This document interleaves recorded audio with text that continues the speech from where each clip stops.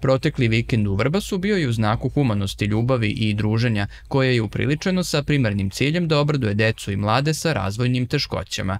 U prostoru Lovačkog doma u Vrbasu iskupio se veliki broj ljudi koji su svojom dobrotom i nesebičnošću došli da izbrišu razlike među ljudima, a posebno one koje se javljaju u mentalnom i fizičkom razvoju. Raspoloženje svih posetilaca svedočanstvo je da su iskreno uspeli u tome, a za raspoloženje, veselje i boravak postarali su se inicijatori i organizatori ove manifestacije. Na inicijativu ove mlade dame ovaj, smo mi pozvani ovde ispred Humanog Vrbasa da pomognemo da, ajde da kažem, da prvi put e, deca sa razvojnim poteškoćama i njihovi roditelji dođu i da uživaju. Znači da spremili smo im uz pomoć svih dobrih ljudi, bit će pljeskavice, bit će kotlić, bit će kolači, sokići. U suštini to je najmanje bitno, bitno je da e, velikog srca smo došli ovde da ih e, ugostimo, da oni budu gosti.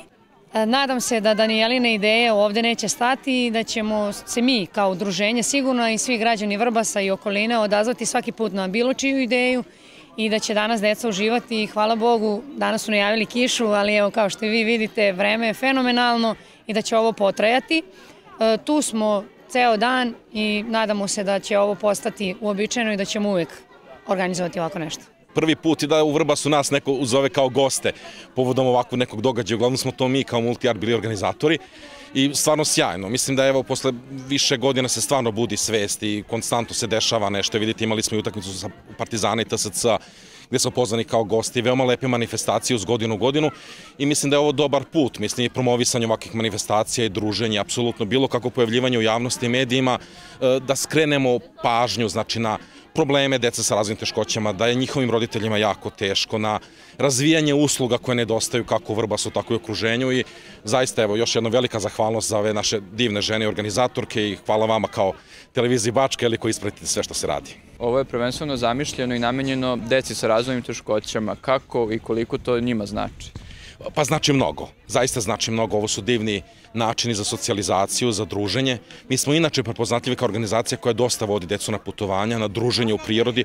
Ovo je klasičan primer.